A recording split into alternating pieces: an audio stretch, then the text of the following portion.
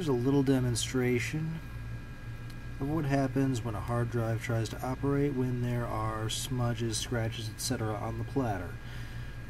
They can be caused by anything over time. If you try to open it up, you will contaminate it with dust.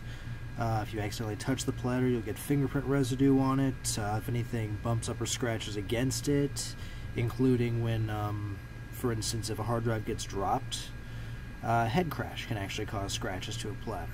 So, I've stuck a couple of things on here, maybe a little hard to see in the shot there. You can probably at least see some of the smudges. But this is where it gets interesting. Power to it. You can see the head's trying to reconcile this. Not doing a great job. It's kind of getting stuck on those smudges, which means that uh, fingerprint residue is probably obscuring the head right now, so it can't read anything effectively. It's trying, but not getting anywhere.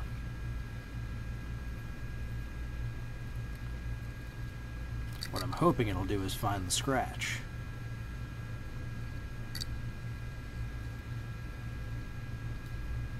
But it has to get a little closer to the center of the platter before that'll happen.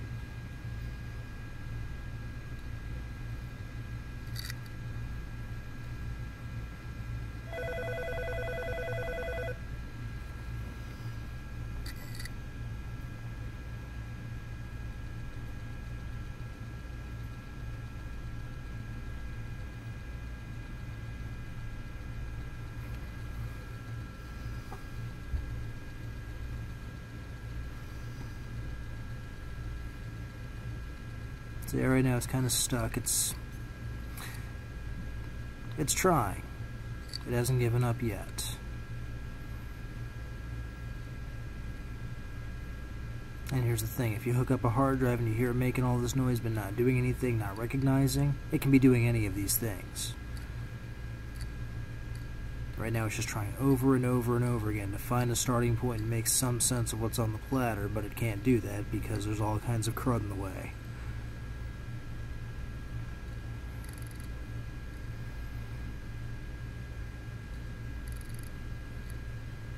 And we can help with these kinds of problems. Again, these were induced issues. This was just a failed hard drive that we decided to tear down and mess up for demonstration purposes. Do not try any of these things yourself.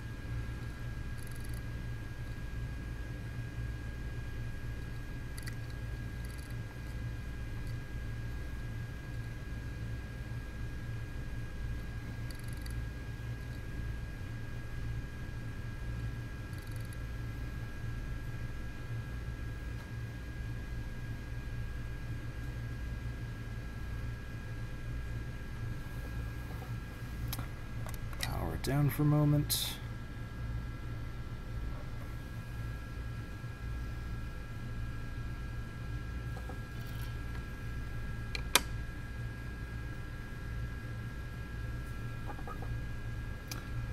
And now what I've done is actually introduced a much longer scratch into it.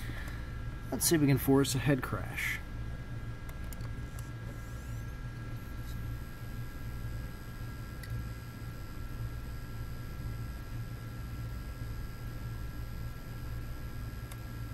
That buzzing sound is the head just grazing over that scratch I put in it.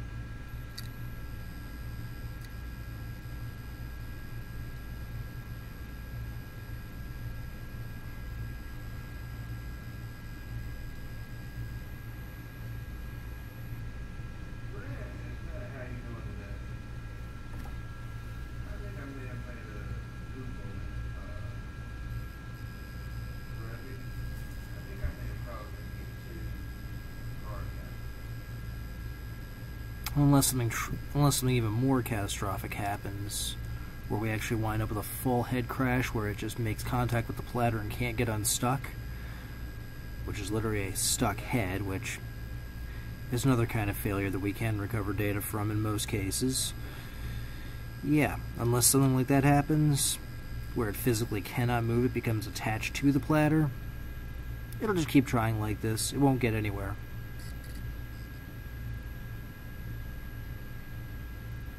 After that fingerprint residue, the head stack assembly is basically ruined. The topmost head's been contaminated. There's no telling how much dust is on this thing getting in the way as well, but the big issue at this point between the contaminated head and the scratches on the platter, this thing's not reading anything. It's just trying and trying and trying. It's like if you clean your glasses off, but you don't get all the smudges off. You know something's there, but you can't make any sense of it.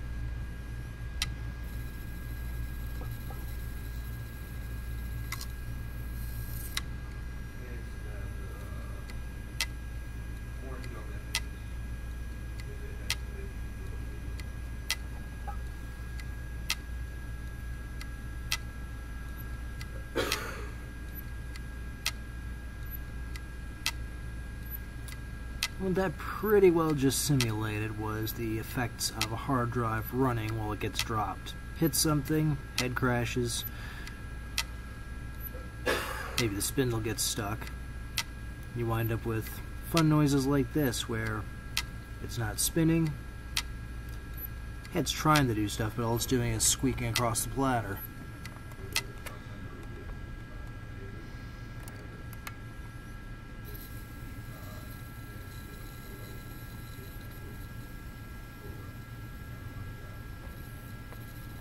In this case, power back on. Spindle wasn't stuck. We didn't do that kind of damage, but...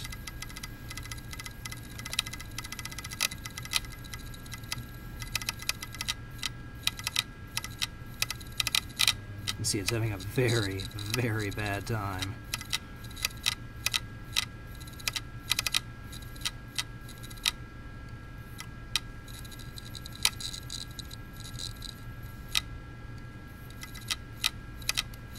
But I think you get the idea. Pretty horrible. You never want to hear any of those sounds, and now you know what it looks like when those are going on. Thanks for watching.